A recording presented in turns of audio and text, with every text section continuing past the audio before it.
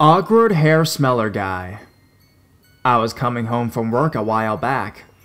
At the time, I was working in residential construction, so I wasn't looking too hot or whatever. Coming home on the bus, this shady character in a long black trench coat gets on and sits next to me. We ride in silence until he reaches down and plucks one of my hair sheddings off my shirt, looks at it, and takes a big whiff of it. I asked him if it smelled good. He said yes.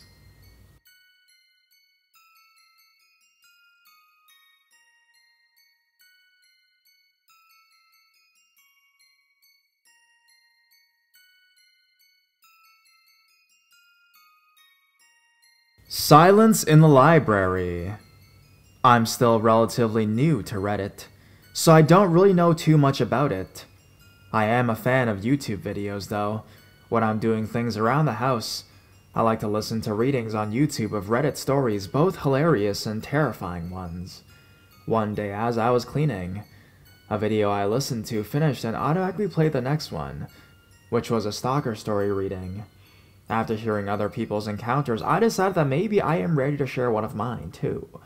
I posted a story of mine earlier, and I got a lot of positive reinforcement, so I think I want to post another one. This is an encounter that went on over the span of maybe a month, then continued on from a distance for the next two years. This is a pretty long story, so I'm sorry if it gets boring. Growing up, I lived in a small town.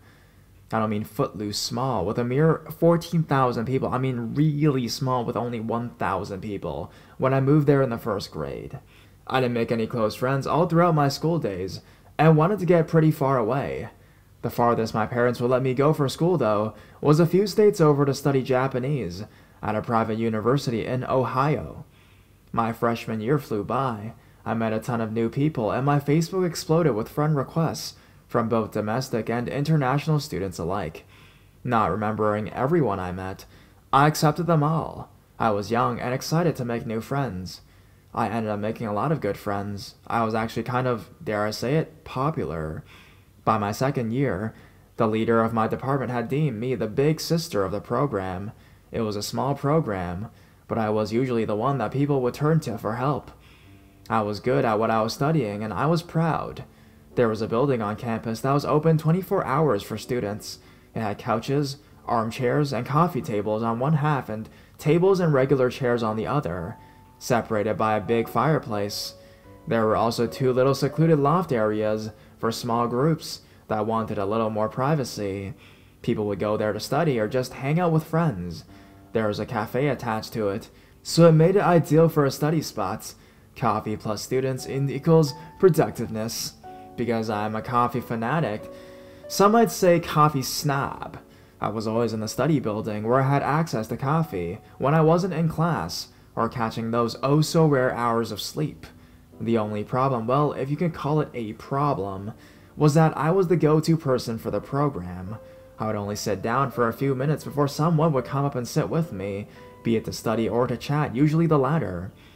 When the end of sophomore year was rolling around, the dreaded exam time was approaching quickly.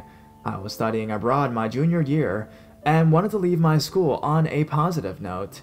I was desperately trying to get some studying done, but people kept sitting to chat with me in the study building. Don't get me wrong, I'm not complaining. Oh my gosh, I look so popular that I can't even stand it. No, I loved my friends, but they couldn't really grasp the concept of silent studying. A few of them were already done with exams and just wanted to talk. I decided to try my luck in the library instead of heading to the study building. I went to a library and sat down at one of the little tables by a big window. I was on a roll. I'd gone through quite a few big projects and finished writing one of my presentations. I sat up a little straighter and stretched out my arms in front of me, letting out a satisfied sigh. A voice from behind me suddenly said, Working hard?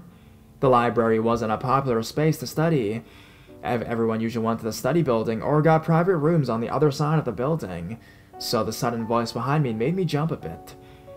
Um, yeah, I replied. He was a Chinese guy on the heavy side, a few inches taller than me. Sorry, do I know you? Now, I, I don't remember his name, so for this story, I will just call him Chen. Yeah, we met at orientation. We are friends on Facebook, he said. His English was good. But sometimes his accent was hard to understand. He still didn't give me his name, but he looked at me so expectantly that I felt bad for not remembering him. Oh yeah, I blurted out, it's nice to see ya. How, how are finals going? We talked a little about school and some other small talk. It was getting late though, so I excused myself to go back to my share house for the evening. The next day, I avoided the study building again, hoping to get the same amount of studying done that I had the day before. I, I walked quietly into the hall, glancing around. I didn't see Chen, so I went to my table from the day before and sat down. It wasn't 15 minutes before he appeared, though, sitting down next to me and trying to strike up a conversation. I was a little annoyed, but I stayed polite. I excused myself after about an hour of awkward conversations with a stranger and gave up for the evening. It was still early, but I grabbed some friends and we went out for dinner at a local diner.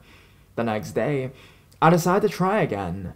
I went into the library and much to my dismay, I saw him sitting at my favorite table. At first, I was annoyed, but then I thought, wait a second, he is here first, so I can just grab a different table and he won't notice. I walked to the other side of the room, passing rows and rows of bookshelves, sitting down at a corner table. If he found me, it would have to be because he was actively looking. About an hour later, I heard footsteps heading around the quiet room. Then a quickened pace headed straight for me. Hey! I groaned internally, but put a polite smile on. Hey there. He had brought his stuff and sat down across from me. After a painful half hour, I finally gave up and decided to head home. The next day, I decided to talk to the front desk about getting a private room. They were on a different floor, so surely I'd be safe there. Nope. He found me.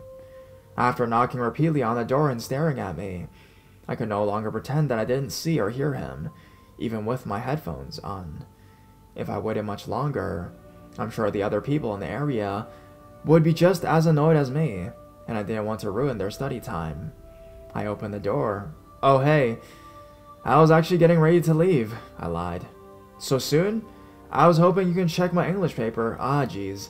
Way to make me feel guilty. Well, I could spare a few. Cool! He pushed his way in, sitting down at the table. Sighing, I sat back down and took his paper. As I started checking it, he started talking about how he had never shared a meal with a girl before because he thinks it's such an intimate thing.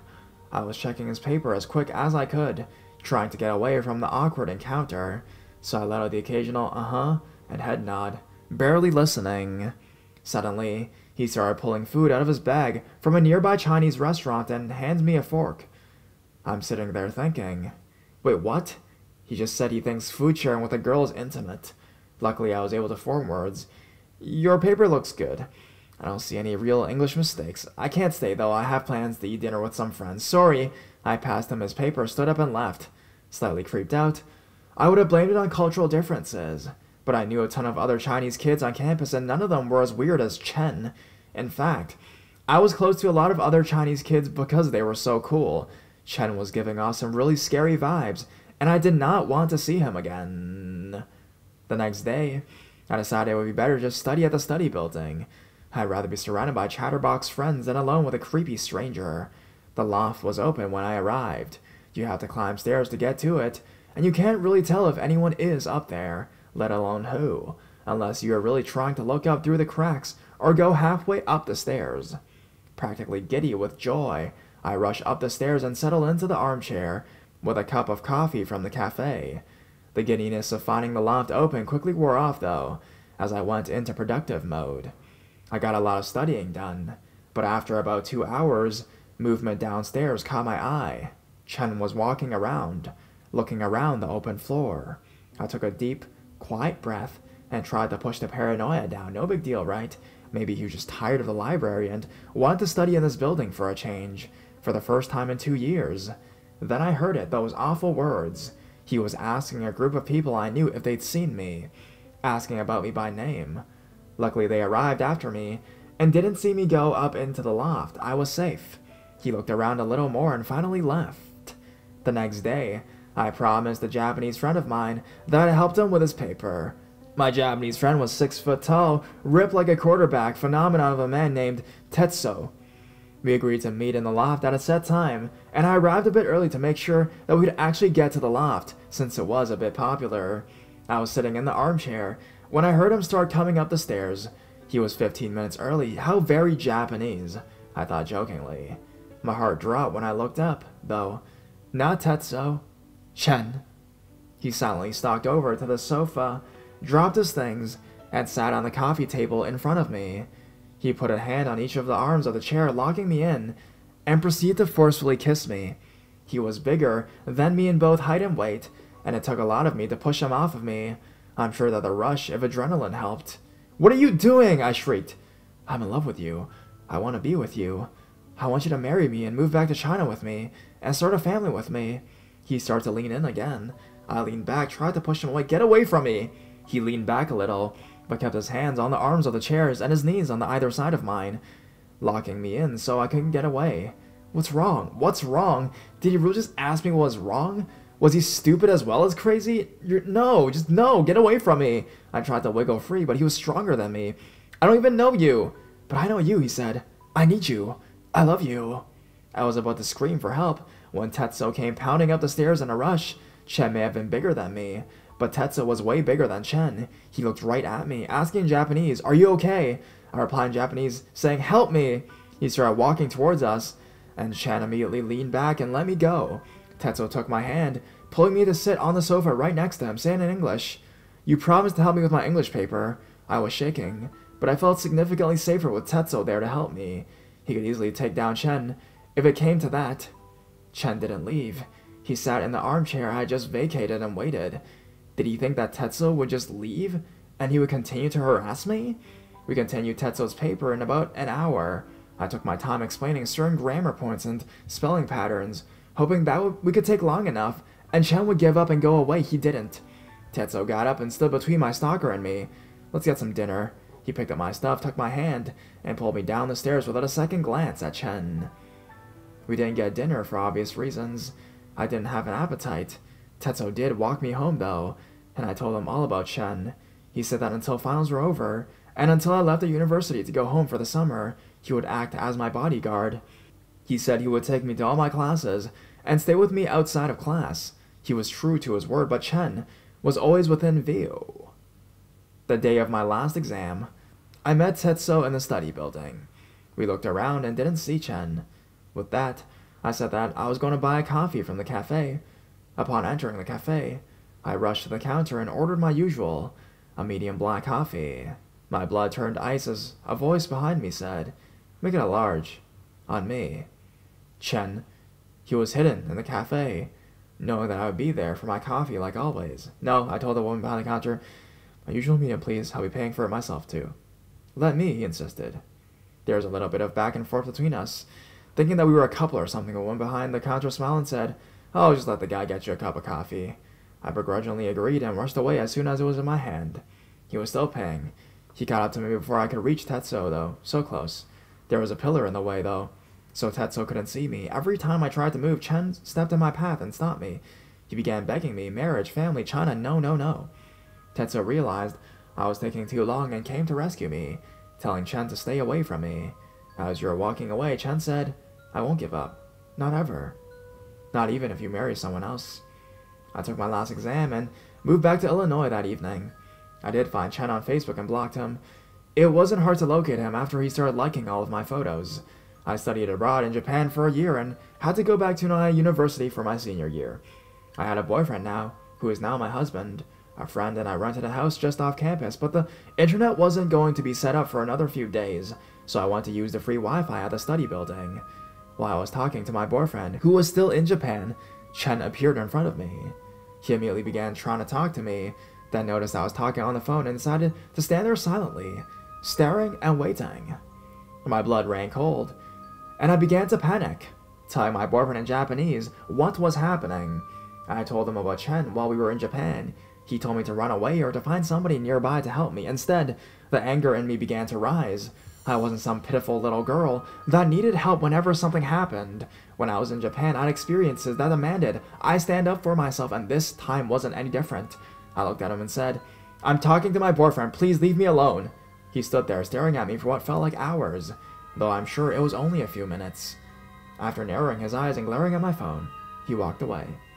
I managed to avoid him for most of the year, but I almost always saw him lurking nearby, staring at me. Because I was almost always surrounded by friends, though. he Never dared to come near and beg me for marriage again. He tried to approach me more than once, when I was alone, but I made it clear to him that I, I would scream if he touched me. I, I kept at public places and made sure to never ever be in an empty place.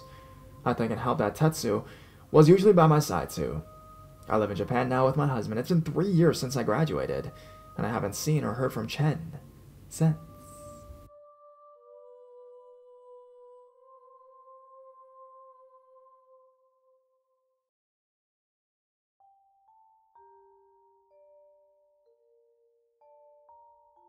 Matthew the Alien Prophet. I was 27 years old at the time, postgraduate school, and committed to my third visit at the Behavioral Health Unit, which is nice speak for nut house.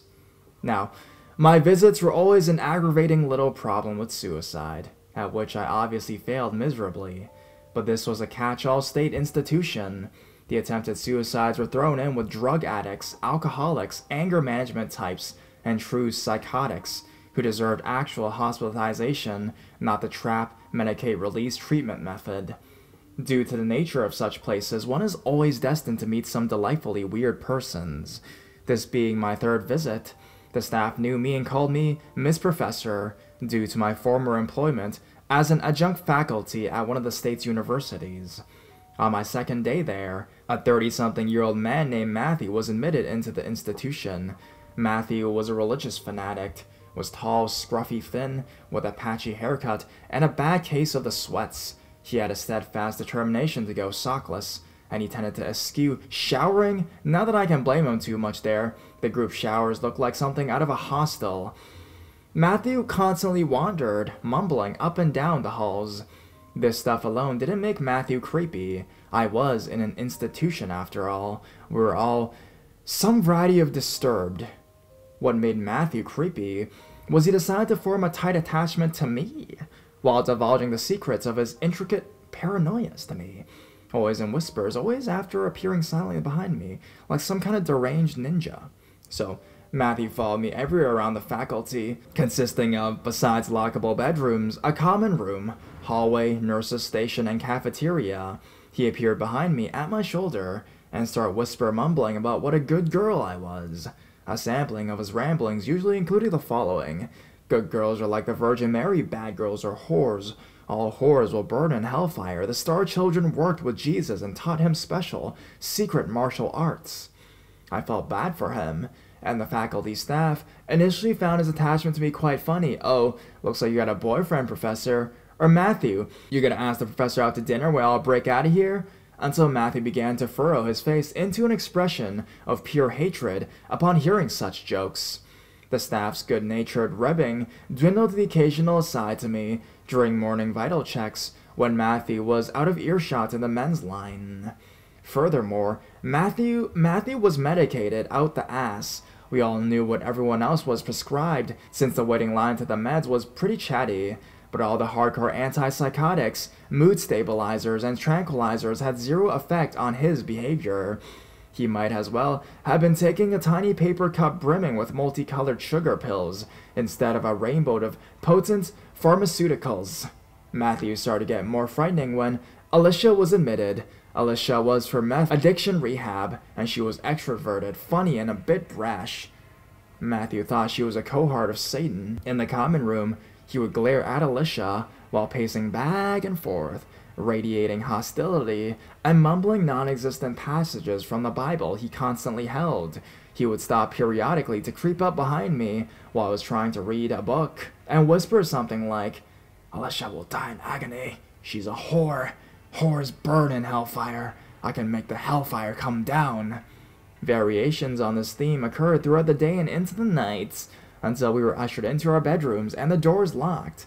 In the mornings, when the dorm rooms were unlocked, Matthew would be there outside mine, waiting and pacing.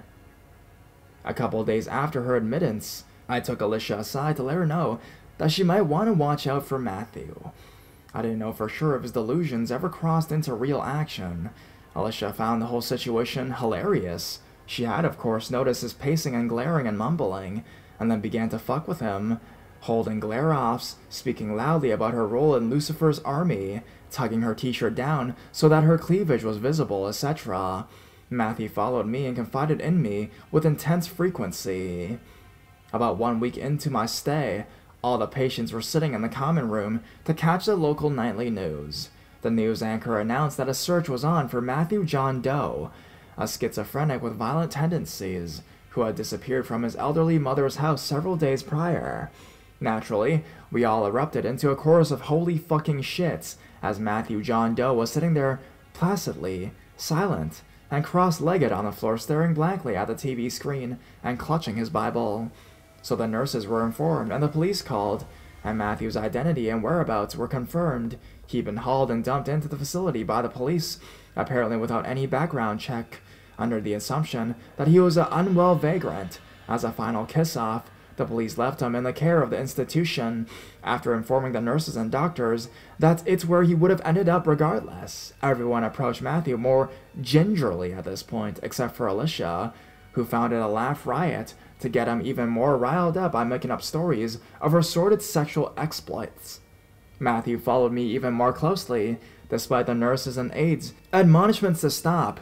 During art therapy sessions, he would sit so closely to me that he breathed down my neck and then he decoded signs and signals from my drawings. Most of the messages he found in the shitty throwaway art involved the apocalypse, the mutilation and massacre of all horrors, and the miracle seed that would spring from my belly. He had developed this virgin whore dichotomy session with me and Alicia. The concept of me as the good woman was weird in itself, as I had blue hair and extensive tattooing, while Alicia looked like a cute girl next door, despite the rough, meth addict edges. Finally, I was deemed no longer a danger to myself, and the staff called a friend of mine to come collect me. I said my goodbyes to everyone, and Matthew was visibly, visibly upset, even raising his voice above his customary mumble, though what he said was mostly incomprehensible. I was nervous about how he'd react when left with Alicia, but Alicia assured me that she could take care of herself. As I stood near the locked doors to wait for my ride, Matthew materialized behind me and whispered, They think I don't know what I'm doing, but I know exactly what I'm doing. I turned to face him, and he was smiling. He was smiling in an eerily sane, cognizant manner, and it was far, far creepier than all his previous insanity combined. I didn't reply. I'll see you again, the Star Children of Jesus told me. It is meant to be. Your womb will be touched and blessed. Your death will make the abominations die, he said. My ride arrived shortly afterward.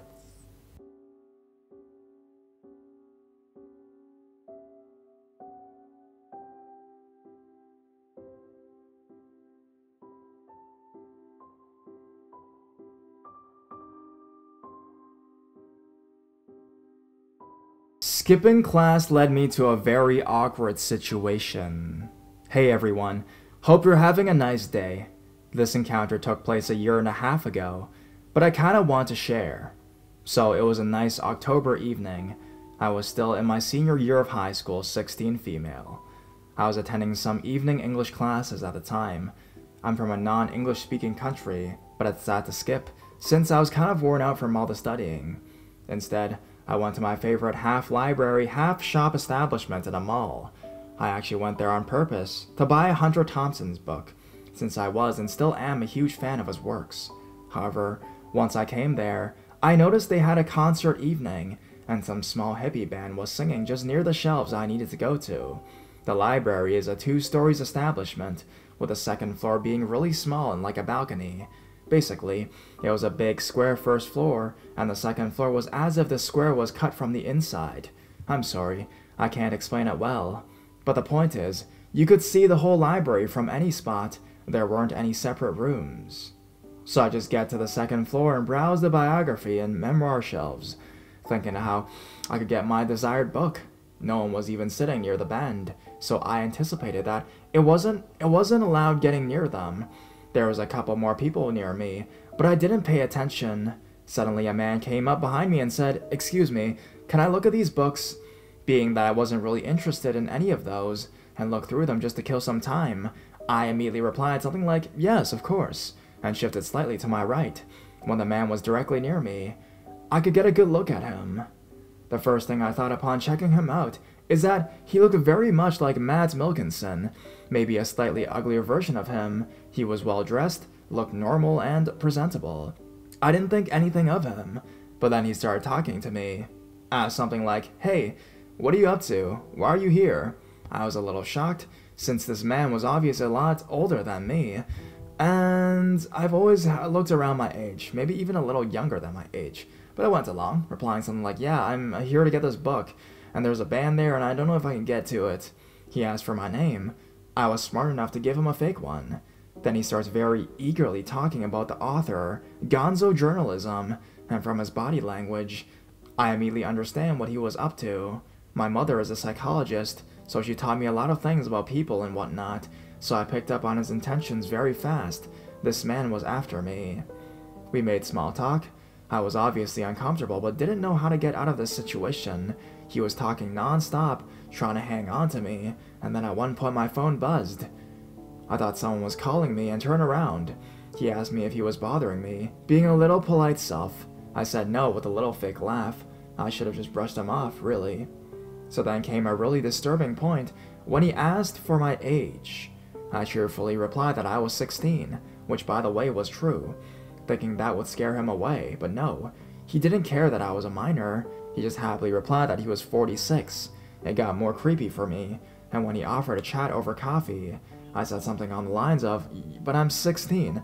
I can't really hang around older men. To this he replied something I remember very well, with a serious expression. You're already 16. That's old enough. You're also just so sexy. That's why I approached you. At this point, I was hysterical on the inside. I mean, I knew that this guy couldn't try anything in a fairly crowded shop, but it was still scary as all hell. So I obediently went to a little dining lobby in the corner of the library, trying to brainstorm any strategies of retreat. Maybe it was a dumb idea, but I decided to say, Oh, I actually have a dance class soon. I'll be late if I don't go now. So I get the book and we'll be going. He took it well and waited for me. I went straight for the book. I didn't even care about the band anymore. While I was at the counter paying for it, I really hoped I could slip away. But this man waited just behind me and called for me right when I was about to book it, out of the door. He started asking me about my dance classes, what what style I was learning, where my dance studio was, etc.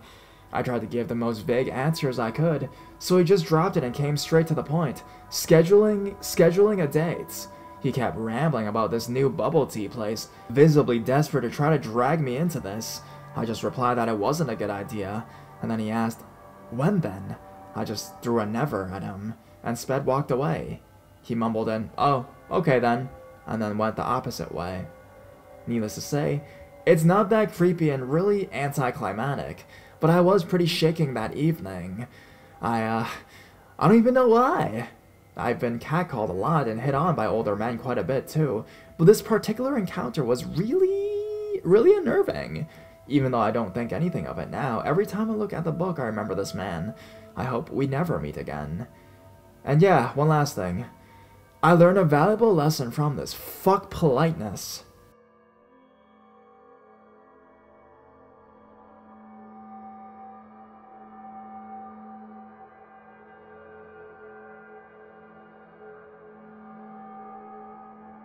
She put me in an awkward position. I've been lurking for a while, but this is my first post. Reading all these posts has pulled out some memories that I should probably get off my chest. I hope this actually belongs here, and if it doesn't, tell me, just don't downvote. When I was around 17 years old, I had a friend who was sort of a bad influence. She was a really nice girl, but she got me into some situations that I didn't appreciate. Once she introduces me to her best friend, a guy who was much older than we were at the time. I believe he was anywhere from 25 to 35. He would provide her with alcohol, weed, a hot tub, and a place to stay when her parents kicked her out. She called him Fifi, and it took me years to understand why. We would go over there once or twice a week, usually while he was napping or gone, to soak in the hot tub after school or before work. One day he joined us and gave us a case of Smirnoff Ice, Being sheltered and 17, I hadn't gotten drunk more than once or twice, so it didn't take much for me to get pretty rowdy. He'd always make out with me, then to feel each other up, then to take our tops off again. After being so sheltered, it was fun to do something so naughty, but in the back of my mind, it bothered me because he was so much older. Later, I found out she was having sex with him, and I told her I didn't want to go over there anymore. I told her he made me feel uncomfortable, and I didn't want him to expect me to do the same thing. She told me he wouldn't, and to not worry. About a month after, she called and asked if I would go to his house and get her work shirt for her while she was doing God knows what. Being the pushover I am, I went. When I got there, he was sleeping, but I invited myself inside and found her clothes. He woke up and asked how I was and if I wanted to smoke a little before I left. I accepted, and we sat in his room getting high and talking about her for a while. After a while, he started edging closer and touching my leg, working his way up to my thigh. I felt a panic, but I was high, and I usually feel panicked, so I played it off and stood up to leave. He grabbed me and said, Baby, don't go, it's okay. We can have some fun. I said I wasn't in the mood for fun, and ran out as fast as I could. I told her about it, and she just laughed it off. He then began texting me and asking for pictures, becoming increasingly aggressive about it. She kept trying to get me over there, and eventually I went, thinking I was being silly about the whole situation. We sat in the hot tub and did the usual drinking and smoking and playing around. She went to bed and left me alone with him. He once again began touching me, but this time I was too drunk to drive, so I let him. Soon he began going up my shirt and talking about my juicy little pussy, and that was the last straw. I left, drunk, and drove to the gas station and called another friend to pick me up. I never went to his house again. This bitch got me in many situations like this, but I'm grateful for them. It's helped me become less sheltered and realize there are people out there who aren't as friendly as you think they are. Not that everyone is out to get you, but it's good not to be a pushover and say no when you are uncomfortable.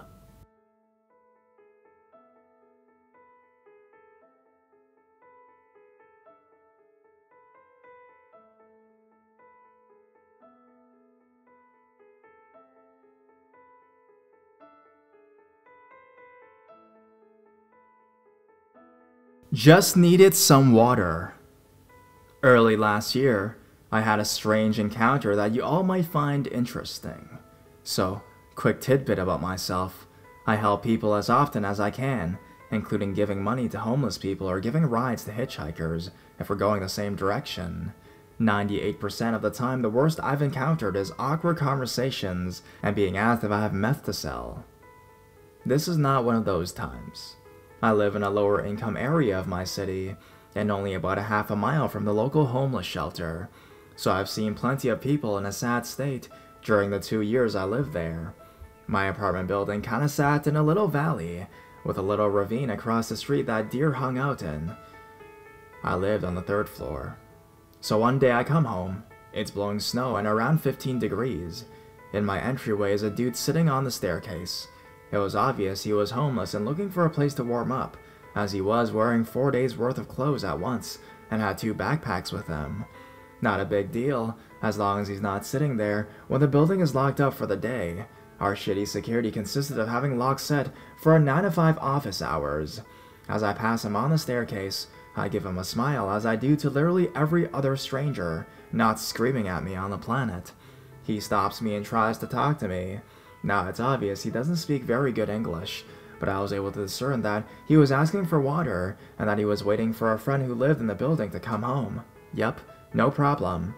I head up to my apartment to get water for him, and he follows me. This was a bit uncomfortable, but I was already having a hard time communicating with him, so I let it slide. This is where things go wonky. My apartment was an efficiency, where the bathroom was right inside the front door, and then a tiny hallway into, well, everything else. I walk to the kitchen to get the water, and he points out the bathroom. Yeah, sure, dude. I have cleaning supplies, that's what they're for. So I go around the corner, pull a couple bottles of water from the fridge, come back, and he's standing there butt naked in the hallway. Then it dawns on me water. He was asking for a shower. Oh, gods. Then he tries to ask me to join him. Oh, no. Hard fucking no. You understand. No, right? He goes into the shower, and I pace in my living room trying to figure out how the frack I can communicate with him that he needs to leave. Because he went from uncomfortable to cryptastic in 0.06 seconds, then it got worse. He comes out, again buck naked, without a towel, and begins wandering around my apartment, commenting on everything. Oh, and. And he's hard. Did I mention that part? Yeah, I lose my shit politely because once you're in retail, that never goes away. Trying to get him to put clothes on. He doesn't understand me. I pull up my phone, pull up Google Translate, and show him the list of languages. He understood what I was asking and selected Somalian. Goody. Progress. Now, the things he's commenting on in terrible half English is things like, You live alone? Does his TV work? Nope, nope, nope, nope, nope, nope, nope, nope. Done. I typed into Google Translate, asking he needed to call his friend or call the apartment management. He gives me a thumbs up, then climbs into my loft bed. Guess I'm cleaning that now too, so I'm like, which one? Another thumbs up. Okay, so he either didn't get what I was trying to do with the app after all, or he can't fucking read. Eventually, my lizard brain took a breather from panicking long enough for the logic part of my brain to take over, and I went to where his clothes were and pointed at them, and then at the door. He got dressed and left. Simple. Done. Over. I shake for about two hours, drink a six pack, and post what happened to Facebook. And that time it dawns on me that I probably just got stopped for theft. So I spend another hour double and triple checking my security camera for later. The next day he was on the stairs again. I tried to be pleasant, but made it very clear with head shakes and a roundabout trip back down the stairs and back up the other flight on the other side of the building to my apartment that I wasn't going to help him again or be his buddy. Two days after that, he was there again. I told the landlady, and she had him removed, and I never saw him again. And before you ask, no, nothing was stolen. I moved to the exact opposite end of the city four months ago. So, random naked homeless dude Let's not meet again.